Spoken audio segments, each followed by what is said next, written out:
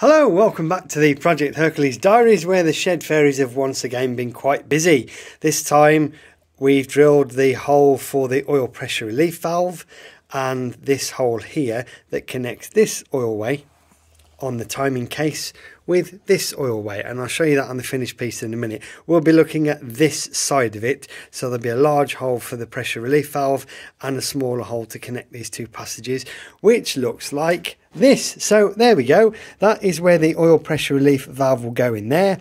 This oil passage here connects to the one in the bottom here through this hole which is drilled from top to not quite the way through.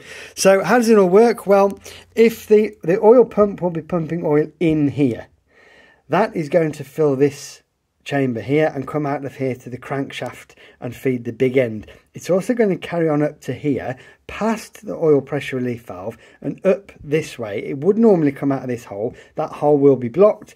Then it'll turn 90 degrees and come along this way to fill this cavity when it goes into the sleeve drive crank and oils the plain bush driving the sleeve. Okay, with us so far. So what happens here then? Well, these are the components of the oil pressure relief valve. This nice tube fits inside here and serves two purposes. One, it contains all of the bits of the oil pressure relief valve and two, it blocks off the hole that's been drilled down from here. So that stops the oil coming out of this passage because that but that little sleeve is in the way. So the ball bearing drops into the sleeve in there. The spring goes into the sleeve. Oh, come back. It's like there's puzzles, isn't it? You get at Christmas. Spring goes into there and that drops into there. So, of course, the, the pressure from the spring holds the ball bearing against the end of, of there.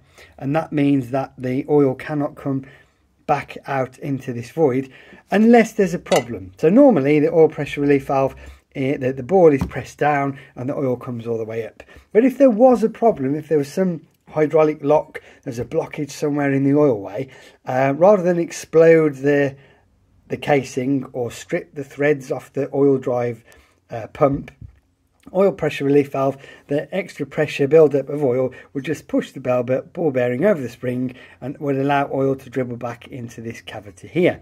So what holds it all in? Well, this plate here holds everything in. It's drilled and tapped to take these nice countersunk screws that go in either side. And of course what this does is two things. It blocks off this hole so oil coming this way and then up can't come back out into the cavity, it carries on. And it also allows the oil that does come past the oil pressure relief valve, if there is ever a problem, allows that oil to come through this hole here and dribble back down into this chamber. So that is the completed, finished timing cover, all the drillings. The only drilling that's not done in the timing cover is the one where the oil pump pushes oil out into the cavities.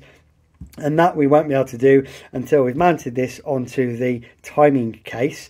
We've mounted the oil pump onto the timing case. And then we can put a bit of blue on the pump and find out exactly where the nose of the pump pumps the oil out. Then we will be done. So back on here. That is here this is the oil pump looking sideways on. That's where the oil pump pushes the oil out through the nose and then up here into the the big end for the um, crankshaft. Up here past the oil pressure relief valve do a little dog leg up here into the sleeve drive crank and to oil the plain bush that drives the sleeve. So that's one good piece of work that's been completed now and uh, there will be more updates to follow. So thanks very much for watching. Stay tuned for more